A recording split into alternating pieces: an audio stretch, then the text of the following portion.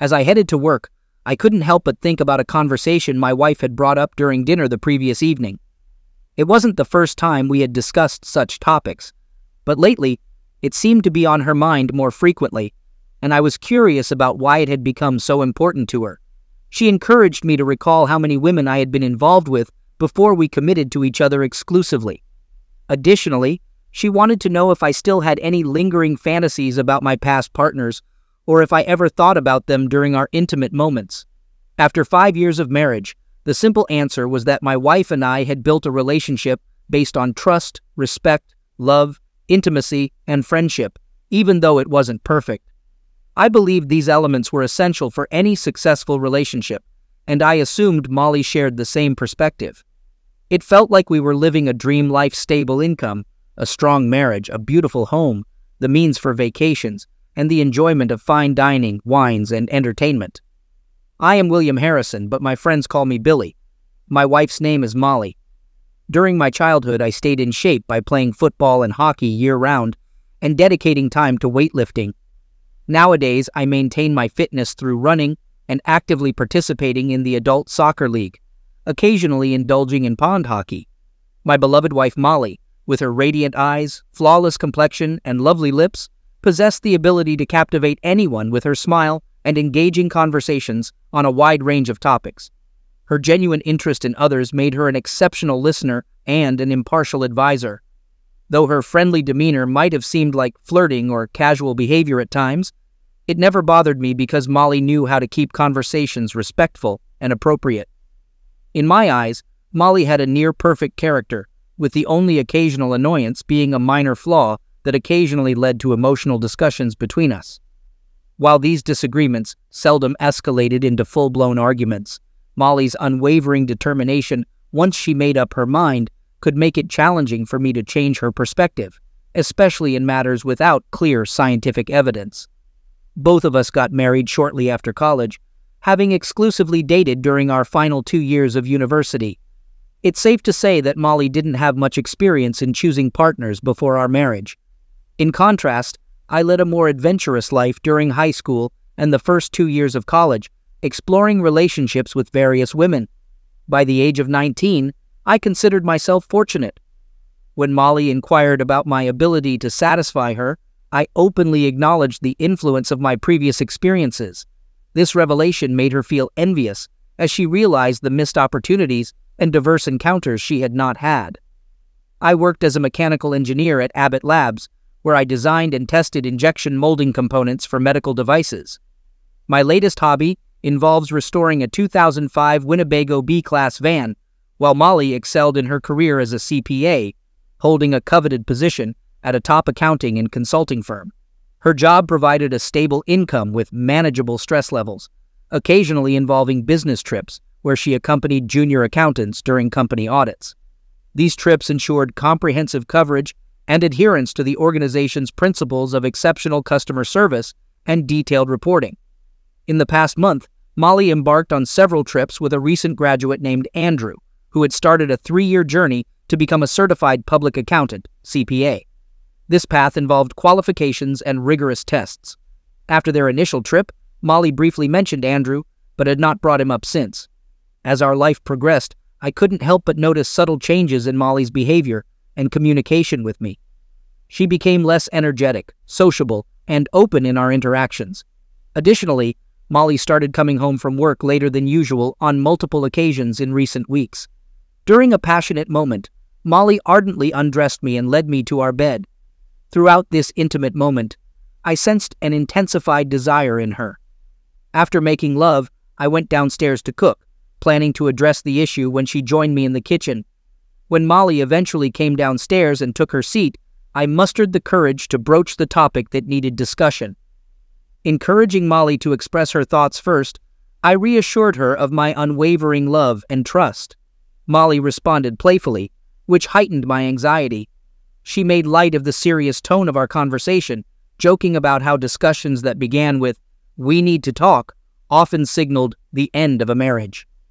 Dismissing my worry, Molly assured me that there was nothing negative. In fact, she believed what she had to share would bring joy to both of us. Struggling to articulate my thoughts, I continued expressing my concern about a shift in our relationship. Molly interrupted, referring to our recent intimate encounter and questioning why I felt that way. I clarified that it wasn't what I meant, but my anxiety persisted. Since Molly had brought up our passionate moment, I couldn't help but inquire about what had sparked such intense passion that she practically tore off my clothes. Molly's demeanor instantly changed, showing tension, concern, and guilt. She defensively suggested that if I wasn't satisfied with her strong attraction to me, maybe I should address the issue myself. Noticing this change, I questioned Molly about it, expressing my observations of her anxiety and guilt along with her defensive reaction. I urged her to acknowledge this and pleaded for honesty, asking her to tell me what was truly happening. I stressed the importance of honesty and clarity. Molly's tone softened as she apologized, explaining that she hadn't meant to react that way. She expressed the need to share what was going on, emphasizing her boundless love for me and the significance of our life together. Molly spoke sincerely during our conversation, her tone filled with confidence and tenderness. Expressing my heightened concern, I asked if she was cheating on me, fearing the worst. Molly, sounding offended but determined, denied any betrayal of trust or unfaithfulness. She reassured me of her respect for me and our relationship. Despite my concerns, Molly encouraged me to listen without making hasty judgments. She explained her intention to discuss something important and stressed the importance of having an open conversation. Molly reiterated her commitment to our relationship, expressing her desire to create a future together, have children, grow old as partners, and be with me for life. She prepared me for the challenge of comprehending what she was about to reveal, asking that I carefully listen and consider the full context. Molly clarified that she had been talking about Andrew, her colleague with whom she had gone on business trips. Alongside these trips, she had lunch, attended happy hours, and even had dinner with him last week. Molly flatly stated that she hadn't cheated or engaged in a romantic relationship. She acknowledged her actions, but insisted it wasn't cheating on me. I want to stress that I truly want you to hear me out, and I apologize if my previous statements seemed contradictory, Molly said. You're right. I crossed a line by spending time with Andrew without informing you. However, I want to assure you that I don't love him. We had a flirtation that initially seemed innocent but gradually became more questionable. Everything changed when he expressed his desire for a physical relationship. Despite being seven years younger, incredibly fit, and very handsome, she continued, I needed him to understand that my feelings toward him were passionate, not love. In a fit of anger, I confronted him, asking if he was leaving me, if he loved him, or if they had already been intimate. He reassured me, saying that he wanted to emphasize once again that he hadn't been intimate with Andrew or anyone else, Molly explained. He clarified that this was part of the problem and asked me to listen. He stressed that he only loved me. Andrew is younger, and I could never develop romantic feelings for him. However, before I met you, I had limited experience. Sometimes I feel that I missed out on certain experiences that you had before we became a couple. The thought that this young man to whom I am undoubtedly attracted desires an intimate relationship with me troubles me, Molly continued. Andrew and I flirted at work today, which may partly explain why I came home with such a strong desire, longing for your love. She noticed my reaction as my pulse quickened and hurried to clarify. Billy, I didn't express that properly. I love you and our intimate relationship means more to me than anything else.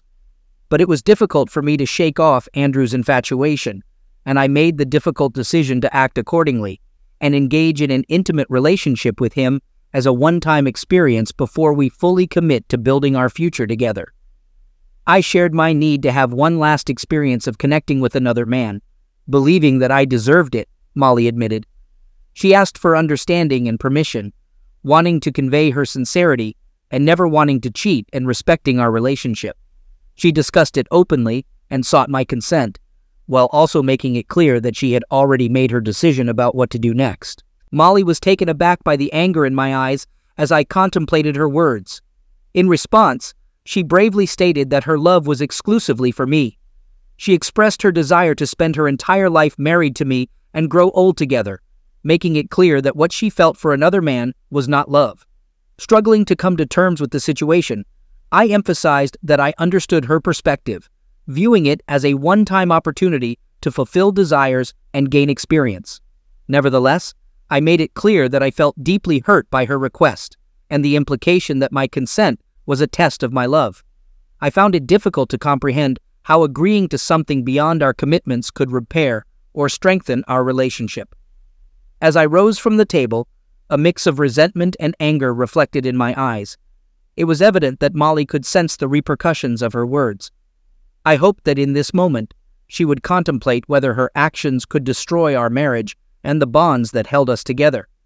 I needed her to grasp the significance of her request and the potential consequences it held for our relationship. I acknowledged that, when she discovered my emotional connection with one of her colleagues, she felt betrayed. Conversations and walks that resembled intimacy could be seen as a form of infidelity. I recognized the pain and mistrust this had brought into our relationship. I attempted to convey that I hadn't engaged in physical intimacy with this man, admitting to a few exchanged kisses after happy hours, and acknowledging that it didn't excuse or justify my behavior. I understood the disbelief and resentment in his response, and sincerely apologized for the pain I had caused him. Despite always believing in his unwavering trust and loyalty, I admitted that learning about his actions shattered this belief. In response, I retorted bitterly, Fine, Molly, Maybe I'll seek a meaningless romance of my own, and we'll see if you maintain that belief. With those words lingering, I abruptly stood, grabbed my keys, and headed for the door. Molly called out to me, her voice pleading, Billy, please reconsider and come back. I understand that you may think this situation could lead to personal growth and allow you to provide even more love and attention in the future, but Molly, you're deluding yourself right now. I can't fathom how you expect me to accept your betrayal and just endure it while claiming to love me. The truth is, I'll never truly bridge this trust gap. If you continue this affair, it means the end of our relationship. Do you comprehend the gravity of this? With those words hanging in the air, I made my way to my car, opting to put some distance between us.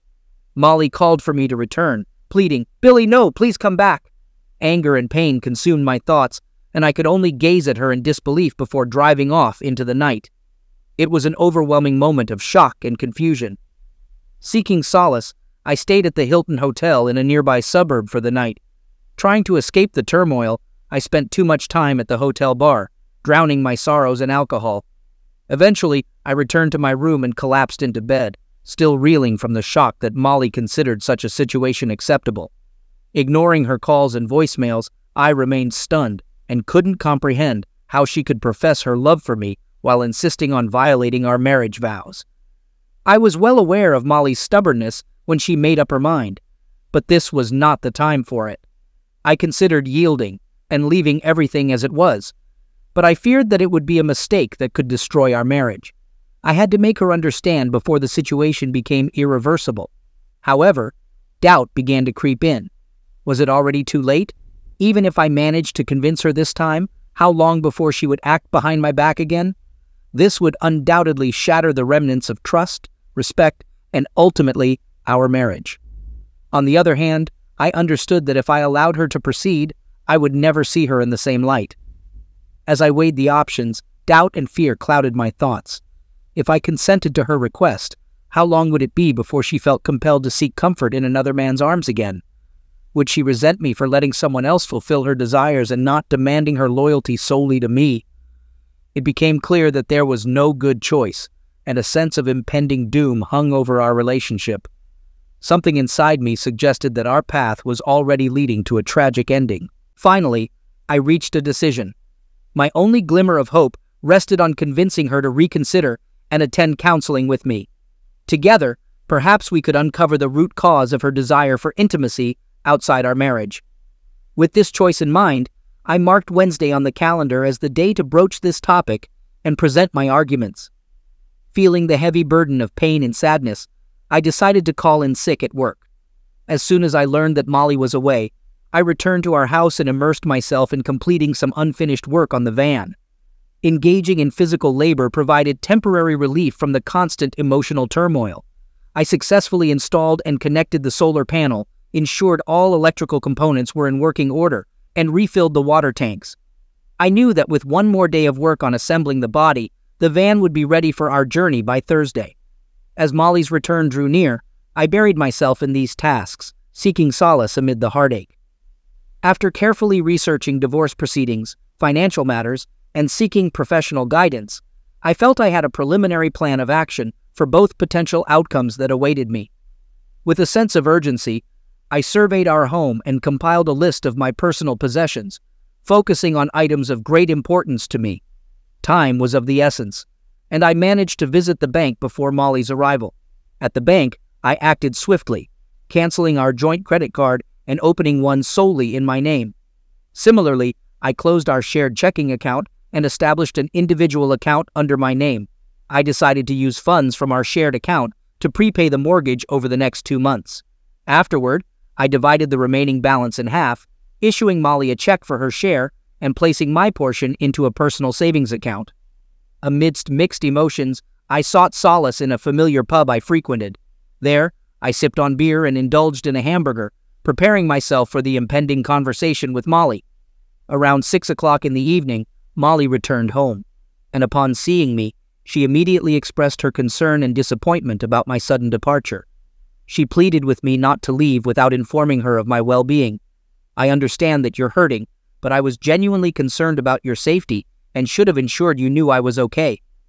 Molly, I used to have absolute faith in the durability and strength of our love. However, recent events have cast doubt on the foundation of our relationship. Just a week ago, I could never have imagined that you would ask me for permission for an extramarital affair, only to continue as if nothing had occurred. I find it hard to understand how you can profess your love for me, talk about our enduring future together, and yet seek my permission for an extramarital affair. Molly, please know that I'm not questioning your love for me, but it's crucial to grasp that seeking permission doesn't erase the fact that it goes against the vows we made to each other this remains a breach of trust and our commitments. It's essential to realize the gravity of this situation and the impact it can have on our relationship, both now and in the future. Molly, if we talk about drama and immaturity, what I'm experiencing right now far surpasses that. I look at the person I once loved, and I'm uncertain if I truly know who you are. You're asking me to accept that you love me Yet you're also asking me to accept that you're planning an intimate encounter with another man over the weekend and then return to our previous state as a couple and partners. Deep down, I know that things can never be the same again. Our relationship can never revert to what it was before. Consider this, Molly. How would you feel if I engaged in intimacy with someone else and then told you it's just a regular thing? It wouldn't be fair, and you're aware of that. Yes, I've had experiences with other women in the past, but that doesn't excuse or make this situation any less painful. I understand that you feel like you missed out on various opportunities in your past. While I had such experiences. In response to your question, I would say that if I initiated an affair, I would expect consequences, including the possibility of being asked to leave and the uncertainty of forgiveness. So why should the circumstances be any different for you? Why shouldn't I contemplate asking you to leave? And why do you think forgiving you would be easy for me? Molly was overwhelmed by emotions. Tears welled up in her eyes as she responded. I interrupted, pointing out that her statement wasn't entirely accurate. I asked if she had already committed to proceeding with the plan, if she had given her potential partner a promise. Molly attempted to defend herself, insisting that he wasn't her lover.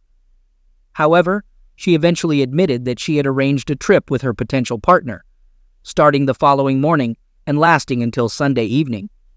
Upon hearing this, I expressed deep concern and conveyed that if she went through with it, things wouldn't simply return to normal come Monday, and our relationship wouldn't be the same. Molly gasped in response.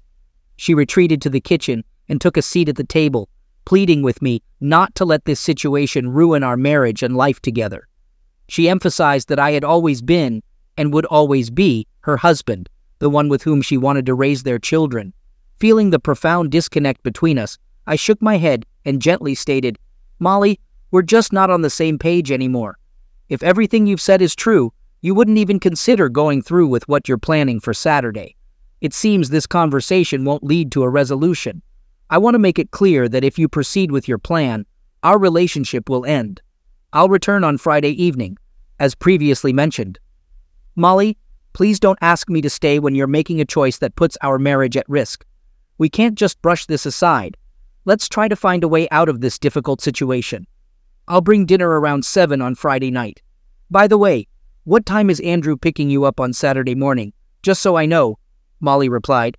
I'll ask him to pick me up at 11 a.m., but please understand that you don't have to leave. In fact, I want you to meet him.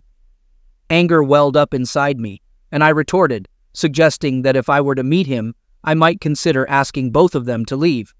Instead of reacting with anger, I proposed that she should consider expressing gratitude for not completely cutting her out of my life. I urged her to think carefully about her actions before our Friday meeting, emphasizing the significant damage this situation was inflicting on our relationship, which she seemed to underestimate. I made it unequivocal that this was a promise I intended to uphold. I conveyed that if she were to end this affair and inform him that she doesn't want to meet him anymore, either now or in the future, and if she commits to attending counseling sessions with me to work on repairing our relationship, then there might be a chance for us to recover. But if she doesn't, then I'm certain our marriage will be over. Please give me your answer on Friday evening. In the meantime, take the time to genuinely contemplate the consequences of your actions for our lives. With a heavy heart, I turned and left the house, returning to the Hilton Hotel, where I reserved a room for the night from Wednesday to Thursday. Recognizing the urgency of the situation, I contacted my boss and explained the extraordinary family circumstances requiring a week's absence. Despite his reluctance to delve into the details, he reluctantly granted me a day off. On Thursday morning, after Molly left for work, I returned to the house and began calmly packing my belongings. I carefully chose items that Molly wouldn't immediately notice were missing and prepared them for transport to my van. Additionally, I decided to visit the store to part with clothes I no longer wore and deemed unnecessary for my upcoming journey. I gathered all the tools, sports equipment, and recreational items that I didn't have room for and took them to my best friend Tom's house. I also shared several pen and ink drawings created by my uncle, knowing he'd appreciate them. As we sat at the table with beers in hand, I explained the situation and discussed the options I believed were available to me. Tom looked at me with disbelief and expressed strong doubts, insisting that Molly would never do such a thing to me. He emphasized how deeply in love Molly appeared to be with me. Tom questioned my confidence in the correctness of my decision, suggesting that there might be more to Molly's actions that required understanding. Right now, I feel incredibly lost and insecure. Everything I thought I knew has been shattered in one week, and Molly seems like a completely different person, her actions have left me bewildered, and I'm trying to make sense of it all. Can't we just forgive and forget? Can't we seek advice and find a way to move forward? I told her that we still have a chance to salvage our relationship if she puts an end to this affair. But if she goes through with it, I see no path to reconciliation. I did my best to appeal to her reason, but now, on Friday evening, I hope that by showing love and care, she might be willing to heed the voice of reason. This is truly my last opportunity. It's difficult to witness the pain caused by my marriage, especially considering that we were once seen as a model of a healthy relationship. I'll explore all the potential paths for the future. I promised a friend to stay in touch, and once I have a new phone and number, I'll reach out to him. We'll keep each other informed. With these thoughts in mind, I went to the Verizon store to get a new phone and number. I secured a new phone and number, ensuring that our current plan was transferred solely to Molly's name. With practical matters settled, I returned home and refocused on the van. I completed the remaining cabinet work, took care of tasks like obtaining new license plates and updating insurance coverage. Then, I turned my attention to our home computer, meticulously removing all traces of personal emails and documents. I wanted to erase any remnants of my past life from the office. Additionally, I wrote a letter informing our family, friends, relatives, and colleagues about Molly's actions and my response to provide them with an explanation in this challenging situation. If, despite all my efforts, I failed to dissuade Molly from her decision, I'd have to explain to our family, friends, relatives, and colleagues that she chose to have an extramarital affair, actively seeking my approval. Despite my pleas for her to reconsider, I made it clear that I warned her this would lead to the end of our marriage, but she proceeded. I never wanted to discuss it, but I wanted people to know the truth about what happened. On Friday, I continued discussing the situation with the divorce lawyer to get advice on the potential outcome of our situation.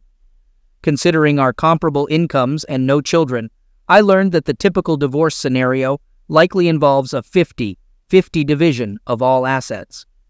Though it was emotionally challenging, it was necessary to gather this information and prepare for the possibility of a trial. While most aspects of a potential divorce settlement seemed relatively straightforward, there was uncertainty about whether Molly would be entitled to half of my 401k retirement plan.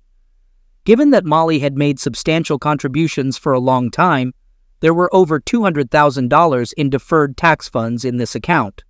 Additionally, Molly was covered by a defined benefit pension plan, creating uncertainty about its impact on the divorce process. After careful consideration, I concluded that I had worked hard to save this money. Rather than risking a 50% loss due to my wife's infidelity, I decided to accept a 40% tax penalty and withdraw the money before the divorce process began. It was a tough choice, but it provided some control and protection for the financial assets I had worked hard to accumulate.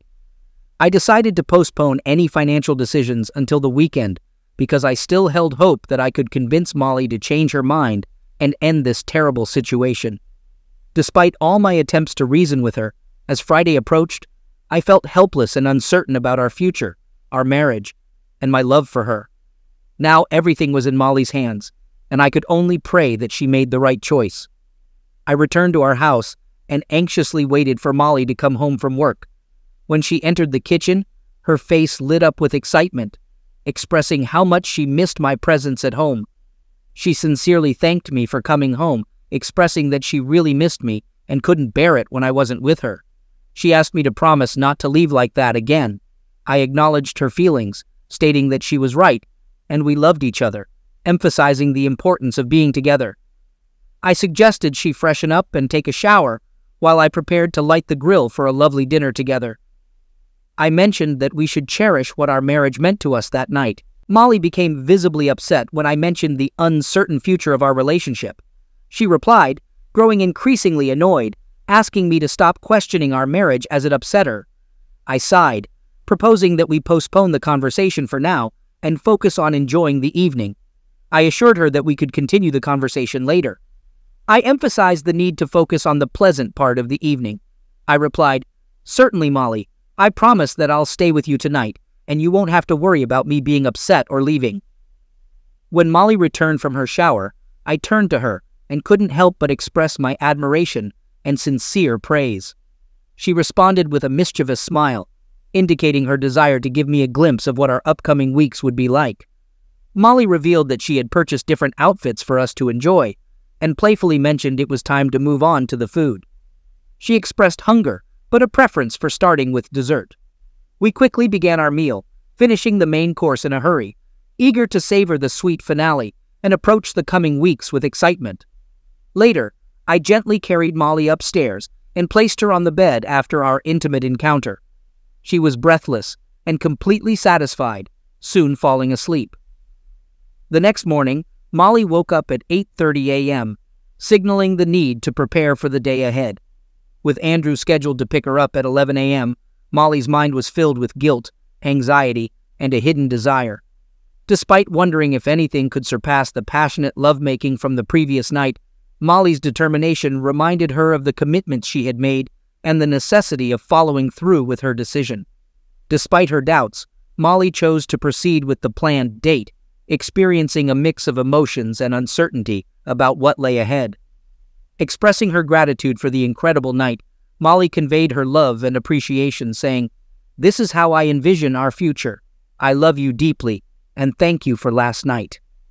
When no response came, Molly focused on finishing her scrambled eggs and declined additional food. She mentioned needing to prepare for brunch with Andrew at 11 a.m. and wanted to keep her appetite for it. Planning to freshen up, take a shower, and get ready, Molly expressed her need for privacy. I nodded, allowing her to go about her morning routine without interruption. I requested a heartfelt goodbye before she left for the weekend, expressing my desire to understand the significance of our love and the events of the previous night. Molly interrupted, urging me to stop, insisting it was a one time occurrence that wouldn't alter our love. Feeling a mix of anger and sadness, I asserted that I wouldn't leave without a proper farewell. Meeting my gaze, Molly's cheeks flushed as she confirmed our enduring connection and envisioned a future filled with growth and strength. Responding with frustration, I expressed my exasperation at her capacity to believe in such words. Molly's understanding demeanor shifted as she comprehended the weight of my remarks, and tears welled up as she hurried to the bathroom. After a quick shower and meticulous makeup application, Molly emerged with a weekend bag, aware of the limited time. Witnessing her prepare to meet another man filled me with immense anger and pain.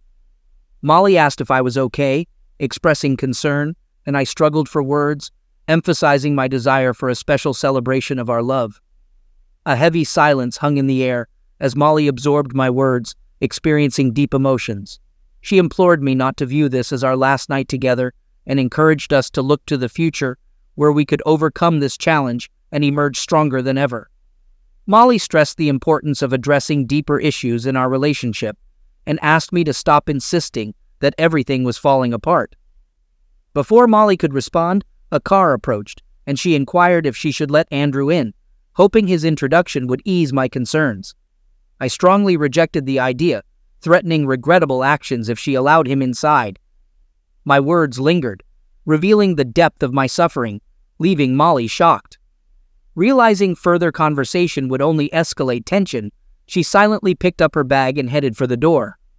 I sat there, lost in thought, recognizing that Molly was determined to go ahead with her plans, despite my efforts to prevent the affair from destroying our marriage. After 30 minutes, feeling a need for change, I began moving my important belongings into the van. I noticed Molly's wedding rings left on the dresser, and with a mix of sadness and resignation, I carefully put them in my pocket. Two hours later, I had securely packed all my significant belongings into the van, a tangible reminder of the decision we both had to confront. Overwhelmed by anger and pain, I wandered through the house in a state of confusion. The wedding album caught my attention, filled with 40 precious photos capturing memories of our wedding five years ago. Unable to contain my disappointment, I cut a deep cross through the plastic covering each photo and tossed them into the fireplace. The crackling flames devoured what had once symbolized our love. Sitting at the desk, my heart heavy with grief and determination, I began composing my final letter to Molly. Molly, this is my farewell message. I couldn't bear to see you walk away from me in our once cherished marriage. Your wedding rings left behind symbolize the abandonment of our commitments, evading the reality of your infidelity in pursuit of a free weekend. It's difficult for me to fathom how you could believe, without a shred of doubt, that having an affair and then returning to our marriage as if nothing had changed is acceptable. I genuinely can't grasp your thought process and how breaking our sacred wedding vows could seem okay to you. Your actions have caused me immense humiliation and disrespect in our marriage. Believing that a seemingly harmless affair over the weekend wouldn't affect my feelings for you is a grave misunderstanding. In reality, it meant everything. Your actions have illuminated a significant difference between my love for you and the love you claimed to feel, if it existed at all. It laid bare a vast gap between what I believed I deserved and what I mistakenly thought we shared. You've hurt me more deeply than any other experience. You took my love, ripped it out of my chest, and callously trampled on it. The initial betrayal occurred when you began flirting with your lover during dinners and happy hours. Kissing during these encounters intensified your infidelity, which you wrongly perceived as acceptable. However, the ultimate blow to our mutual love occurred when you assumed I would agree to your betrayal. How could you believe you deserved this and that my love for you would tolerate such betrayal? I'm astounded by how your mind arrived at such an idea. Attempting to reason with you, I made it clear that our love, marriage, and friendship would never remain unaffected. Instead, you dismissed my concerns, labeling me as immature and dramatic. I implored you to halt this weekend affair before it happened, offering to consult a psychologist and make efforts to salvage our marriage. My words were ignored. Despite warning that the incredible night of love we shared would be our last if you continued, you chose to disregard me, assuming I would obediently stay by your side. I don't understand how you believed I'd agree to such betrayal. It's as if you never really knew me. I trusted you so deeply that I failed to realize you were capable of this level of destruction. While I could physically intervene, I knew it would only breed resentment and gradually dismantle our marriage. Believing this to be an isolated incident is self deception. If this experience was unsatisfactory, how long until you seek another attraction? And if it was pleasurable, how soon until your fantasies compel you to repeat it? These questions haunt me, underscoring the crux of the issue. You might conceal future infidelities, especially considering the devastating consequences we now face, but I am certain these betrayals would persist, further eroding the fabric of our relationship. The truth is, I can't be in a relationship without trust, and your actions have utterly shattered my trust.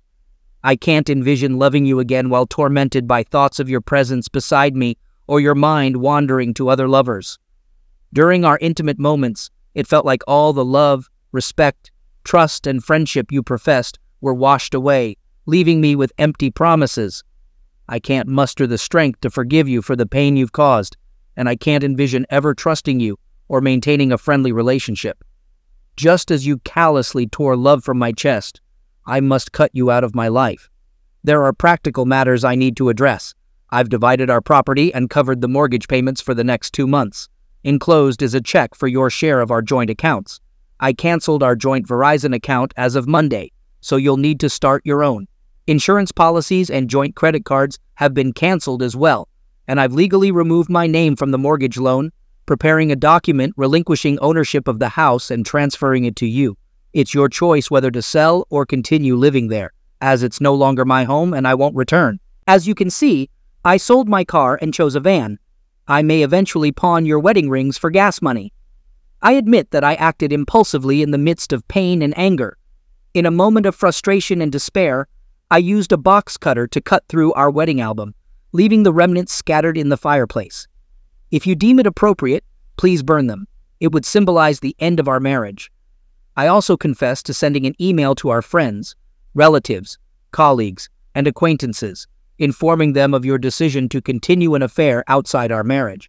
I announced my decision to leave you, giving you a day or two to consider how you want to present your side of the story. I strongly recommend taking responsibility for your actions as you move forward with your new life. You can pursue any experiences and relationships you desire, but I urge you to avoid getting involved with married individuals, as your actions have already caused enough harm to innocent lives. You're free to end our marriage, sell the house, move on, and shape your future. I leave these decisions in your hands because they no longer concern me. If I'm fortunate enough to find a woman who truly loves and respects me as I deserve, I'll be grateful for this opportunity in my life. Perhaps we can discuss divorce when the time is right. At the moment, my focus is elsewhere. I've decided to quit my job and cash out my 401k. My sole plan now is to sever all ties with you and avoid any future encounters. When I depart, I'll take a left turn on the road, leaving memories of you behind in the rearview mirror. Farewell, Molly. Finally, I began sending the letter I wrote to all our friends, relatives, and acquaintances, scheduling the mailing for Monday. By then, I should have moved away from my previous life. With one last glance, I turned away and walked out the door, hurrying away from the remnants of my past. I drove along the banks of the mighty Mississippi, pondering my next moves. I decided to follow Molly's path from Minneapolis St. Paul to the bustling city of New Orleans. Once I reached that destination, I'll have to make a crucial decision, metaphorically speaking, to the left or to the right. During the long hours on the road, thoughts about Molly and whether I was making the right choice filled my mind. However, I concluded that now isn't the time to make immediate decisions about our future. It will be weeks before I can even contemplate the possibility of friendship, let alone staying married. In that moment, anger overshadowed any thoughts of reconciliation, but I understood that there might come a time when my anger subsides, and the desire to be with Molly outweighs the pain caused by her actions. Only then can I truly appreciate how much more important it is for me to be with her than without her. Molly had to explain her perplexing state of mind and the reasons behind her decision for a brief, intimate encounter to her parents, relatives, and friends. She expected it to be challenging for them to comprehend her train of thought or agree with her perspective. In fact, she found it difficult to grasp her own reasoning, let alone explain it to others. She convinced herself that this affair wouldn't affect her emotional state in any way. Recognizing the serious challenges ahead for both her and us as a couple, I understood that any potential path to reconciliation would require sincere efforts to overcome the difficulties. Molly had to articulate the depth of her new understanding of the devastating impact her actions had on our marriage and the love we once shared. She had to confront the harsh reality of her self-centeredness and foolishness in underestimating the importance of loyalty, not just for me, but also for her own sense of integrity. Now, comprehending the consequences, Molly reached out to my best friend Tom Wickley, desperately seeking information about my whereabouts. She implored him to convey her heartfelt apologies, expressing her love and remorse. Molly wants me to tell you that she loves you very much, recognizes her mistakes, and is willing to do everything to make things right if you give her a chance, Tom conveyed on her behalf. She promises not to seek a divorce and to remain faithful to our marriage vows, refraining from romantic relationships as long as we're married. Week after week, Molly anxiously waited for a response or a phone call, hoping for reconciliation. But there were no contacts as she clung to the hope of my return. About a month later, an unexpected incident occurred. Andrew opened the door and encountered an assailant wearing a mask and wielding a police baton. The attacker quickly struck Andrew twice, followed by painful blows to the groin. Before leaving, the attacker emphasized the importance of not getting involved with married women. After the attack, Andrew experienced excruciating pain, a reminder of the consequences when crossing boundaries. Of course, you know who the attacker was. I monitored Molly's life, wanting her to suffer as I did, perhaps even more. Despite Molly's claim that she would wait for me and not engage in romantic relationships, she brought another man to our house two months after my departure. It was hardly a friendly meeting. Soon after, she sold the house and moved to a modest apartment. Dreaming of breast augmentation, she opted for plastic surgery with the money from the house sale. Unfortunately, a blood clot formed a week later, leading to her sudden passing. Upon hearing this tragic news, I didn't shed a tear. Had I lost the capacity to feel love, anger, or regret for this woman?